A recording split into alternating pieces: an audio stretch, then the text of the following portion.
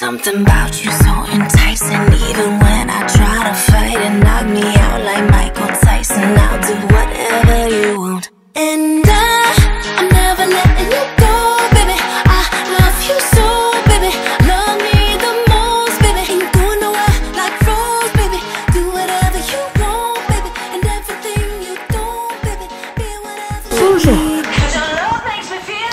feel like liebe Kasperl-Freunde, ich bin heute Isabelle.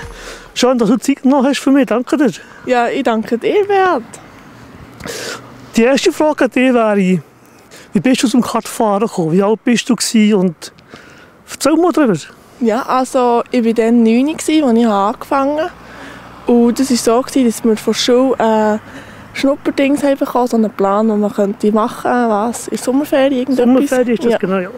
Genau, und äh, dann ist auch Kartfahrer drauf gestanden und dann bin ich da mal schauen. Und dann hat Swiss so ähm, etwas angeboten für so kleine Fahrer, eben so für 9-jährige Mini-Schnuppertag. Und dort bin ich gefahren und es hat gefällt und so habe ich angefangen. Und ich bin behangen dabei. gehabt. Ja, dann haben wir äh, zwei Minis gekauft dann. Und mein Vater hat dann auch noch eine Car gekauft. Und dann sind wir auch äh, am Mittwochnachmittag auf die Liesking gefahren. Und so hat das seinen Start genommen. Der Bärbeli-Wagen in die Ecke gestellt, nur noch. Den habe ich noch nie gebraucht. Was haben deine Schulkollegen gesagt, als du Kart gefahren bist?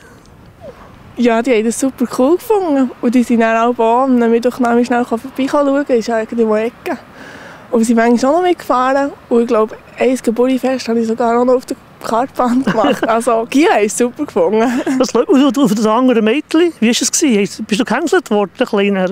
Nein, nein. Sie haben es halt ein bisschen speziell gefunden, aber äh, gecancelt bin ich nicht wegen dem geworden. Nein.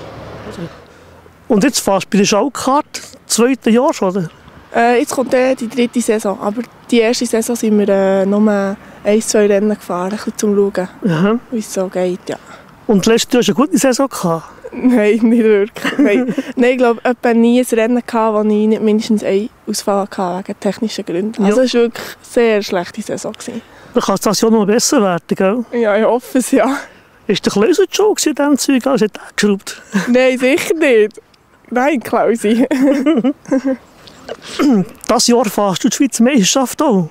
Ja, ich fahre es auch, aber weil ich im Sommer abschließe mit meiner Lehre und noch Prüfung habe, fahre ich sicher zwei Rennen nicht. Zwei Rennen, welche wären das? Ähm, das zweite Mirecour und Wesel. Nein, Wolle. Wolle. Wolle. Ja gut, Wolle ist für die Schallfahrer ein bisschen... Ja, die ist eh nicht super. Isabel, also mir geschätzt, jetzt wäre 28 Grad. Das schönste Wetter. Hast frei. Was würdest, was würdest du jetzt am liebsten machen? Ich würde äh, weiss Bikini schnappen, das Badtüchli und ein bisschen Strand liegen. Und das Swiss Atlas Katalog. Ja, den habe ich immer dabei. Isabel, wenn tust du zu, zu den Rennen anreisen? Weil die reisen sehr früh haben und du? Ähm, da ich am Freitag noch arbeiten muss, respektive letztes Jahr dann noch Schule hatte, sind wir immer erst am Freitagabend losgefahren und dann war einfach Samstag Training Mhm. und Sonntag Rennen. Und das Jahr ist es genau gleich noch. Äh, das Jahr ist es genau gleich noch, ja. Du kommst also weniger zum Trainieren als die anderen und fährst so gleich gut. Ja, das würde ich nicht sagen, aber ja, ja, das ist so, ja. Ich kann mir vorstellen, wie ich jetzt gehört habe, ist das nicht so ein billiges Hobby. Hast, du auch Sponsor oder Gönner? Ja, richtig. Äh, wichtiger Sponsor ist äh, Synergy, das ist eine Reederei. Der tut mir jetzt schon längere Zeit äh, sponsern. Und dann noch Rieder Architektur von Gstaad auch. Und natürlich, ja, ein wichtiger Sponsor ist äh, meine Familie und mein Ja. Vater, die mich da unterstützen. Oh, die, die heiße Frage. Was denkst du über, über sechs Rennen statt über fünf Rennen von Schweizer Meisterschaft? Ja, ich finde das super. So hat man mehr die Möglichkeit, äh, verlorene Punkte wieder aufzuholen. Und äh, es bietet auch die Möglichkeit, auch noch andere Pisten zu fahren. Ich finde es super, fahren wir jetzt das Jahr Pavia. Ja, super. Wieder eins zu Italien. Ja. Endlich wieder feines Essen. Hast du eine Lieblingsstrecke, die du gerne fährst?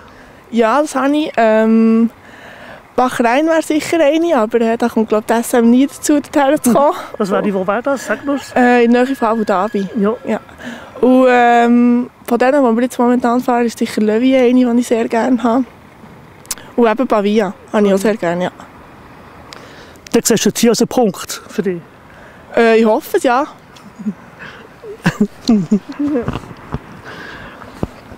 Was mich wundern nimmt, die Gielen, weißt, sind die, benehmen sich die anständig gegenüber dir auf der Piste oder sie sind eh, das Mädchen, weißt du. Ja, also für mich ist es so, wenn ich Helm und Kombi anhabe, dann bin ich Aber genau gleichberechtigt. dann sind wir alles Piloten, nicht Mann oder Frau. Und ich glaube, die anderen sehen das auch so. aber du hast schon ein bisschen entgegen, gell? Ja, sicher, ja, ja. Doch, doch. Also, man muss nicht meinen, nur weil man Frau ist, kann man da nicht entgegen haben. Das, das geht doch schon ziemlich gut. Well, Hast du noch ein anderes Hobby außer Kartfahren? Du, du trainierst du vielleicht so, weißt Also, ich habe jetzt angefangen wieder mit Tennis. Gehe eine Woche ins Tennis, das mache ich sehr gerne. Also Oberarm und so musst du trainieren. Ja, also ich tue jetzt auch nicht speziell irgendwie ins Fitness gehen und Oberarme trainieren und so. Nein, ich gehe jetzt Ausdauer. wirklich ja, ins Tennis. Und das ist auch ein gutes Training, auch für die Ausdauer. Und dann gehe ich noch in den Turnverein und dort haben wir auch Leichtathletik und dort tun wir auch Ausdauer trainieren. Also ja, Mhm. so ein bisschen so mache ich es. Isabel, deine Schwester Sophie, was sagt die zu dem, was du machst? Ähm, sie sagt da nicht so viel dazu. Sie findet Kartfahren glaube ich, nicht so cool. Nein, aber äh, wenn es mal irgendwie ein Rennen in Nähe gibt, dann ist sie auch schon mal auf dem Platz gestanden. Aber ich glaube, für sie ist das nicht so ihre Welt. Sie ist dann da in ihrem Beruf mit Pflegefachfrau, wo sie Ja. die Leute kann pflegen kann. Das macht sie gerne und äh, Kartfahren ist, das ist Schwester ihr Ding. Also, Ja. Isabel, wie viele Fahrer seid ihr im Team? Ähm, wir sind jetzt für diese Saison, 2015, sind wir 14 Fahrer. 14 Swiss Ja. Hurdles Fahrer, Pilot. Also Mini, Alles Mini, KF3, Schalter, X30, 14, genau. weißt, weißt du, wer deine Teamkollegen sind? Ja, das weiß ich. Das ist mir bekannt. Äh, Pascal von Almen, Ehrensberg Philipp, der Ivo wieder eins, zwei Rennen kommt fahren. Oh, cool. Ja, und der Cerci Haxio. Schön. Tust du während der Saison auch noch Kart fahren? Also weißt du, ich meine jetzt äh, trainieren. Ja, das finde ich, das muss ja. Letztes Jahr sind wir leider ein bisschen zu wenig gegangen. Ich glaube, das ist auch das Resultat ist dann auch so rausgekommen. Dementsprechend jetzt dieses Jahr wollen wir wirklich vermehrt gehen. Wird halt ein bisschen schwierig mit Abschlussprüfung, aber äh, das müssen wir irgendwie... Etwas muss darunter leiden. Oh ja, genau. Und wenn es das ist, oder? Ich habe hier gehört sagen, wegen deinem Mechaniker, du hast ja gewechselt. Ja, letztes Jahr hatte ich den Adi Fritschi. Der hat jetzt äh, aus beruflichen Gründen kann er nicht mehr kommen. Leider. Und jetzt habe ich aber einen würdigen Ersatz gefunden, den Germano, wo ich sehr froh bin und ich sehr gespannt bin, äh, wie die Saison rauskommt. Und ich kann sicher noch viel lernen von ihm. Das denke ich auch.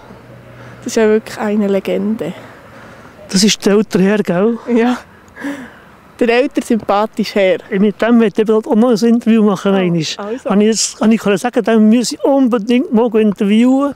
Aber ich hatte, weißt, ich kenne ihn ja schon, aber ich denke, Respekt vor, vor einer Legende, hat man Respekt. Ja, gleich fragen. Du musst diese Chance gar ergreifen. Machen wir doch mal. Ja. Isabel, wenn tust du anreisen zu den Rennen? Ähm, da ich letztes Jahr jetzt am Freitagabend eine Schule hatte, ist das erst am Freitagabend möglich. Und das Jahr arbeite ich am Freitag und es wird genau gleich so weitergehen. Also Freitagabend gehen wir erst leider. Du kannst auch nicht so viel trainieren wie, wie die anderen. Ja, mal, die Möglichkeit ist ja schon da. Du kannst einfach das vorheriges Wochenende kannst du fahren. Aber ja, vor dem Rennen direkt so am Freitag ist leider nicht möglich. Bist du der gleichen Meinung wie ich? Wäre es nicht schon, wenn mehr Leute, Zuschauer an der Kaststrecke würden stehen, weißt, wie so wie, wie zu Wahlen und wie zu Linear. Ja, das ist definitiv so. Auch als Kartfahrer ist es schön, wenn da ein bisschen jemand zuschaut. Es spornt einem auch an. Und ich finde definitiv, ja, es sollte mehr Anlässe geben, so, mit so viel Publikum, ja. Es ist eben schwierig im Ausland, gell? kennen die Leute, die fahren auch nicht so. Nein, und äh, ins Ausland kommen auch nicht so viel. Also da musst du schon gute Fans haben, dass die dir dann nachreisen. Darf ich mal fragen, was du von den Lehrabschluss machst das Jahr? Ja, ich mache Fachfrau Kinderbetreuung. Ich bin jetzt seit drei Jahren dort in Bern, wo ich die Lehre mache und es gefällt mir sehr.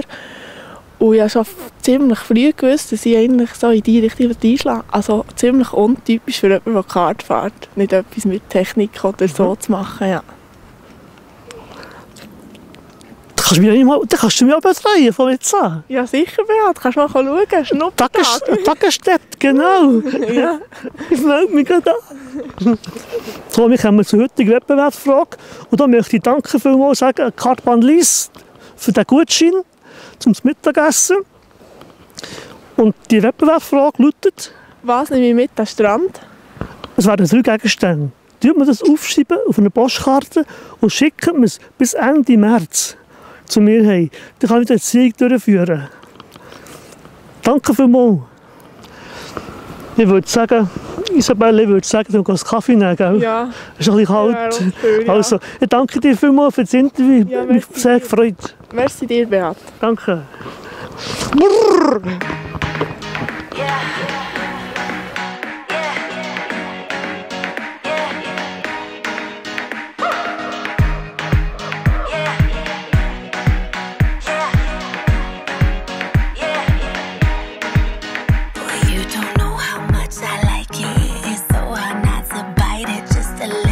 know you like it, I'll do whatever you want. Something about you so enticing.